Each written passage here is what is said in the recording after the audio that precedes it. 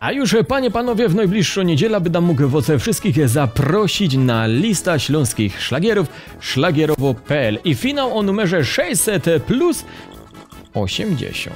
Bycie z nami w niedzielę na kanale YouTube od godziny 19.30. Tam się widzimy. Sebastian Mierzwa, czekam na was.